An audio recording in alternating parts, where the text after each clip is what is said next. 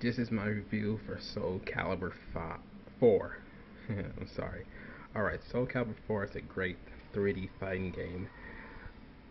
There's there's a good amount of modes in this game. There's story, arcade, training, versus, descend, and ascend.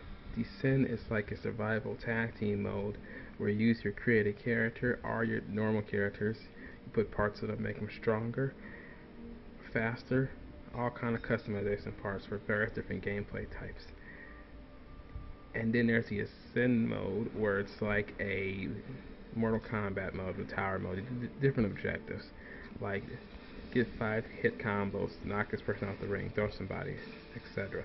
The story mode, which consists of five fights and the character ending, and there's the arcade mode, which get the best score and best time when you fight the boss create a character mode is great.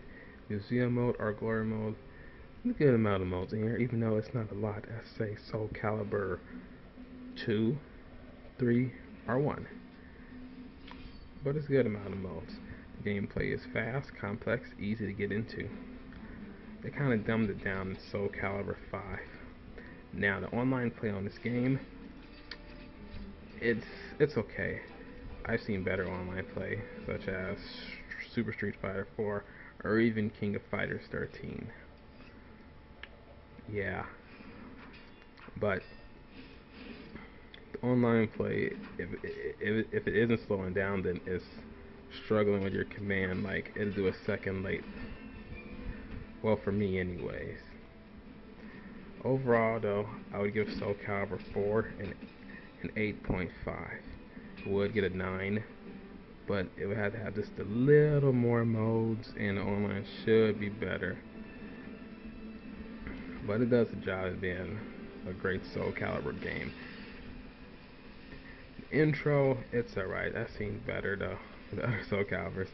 But I like its intro. Better than say Soul Calibur 5's intro. Well thanks for watching and I'll see you guys next time and by the way, the online play on Soul Calibur 5 is definitely better than online play on this game. Soul Calibur 5 has wonderful online play. Alright, thanks for watching.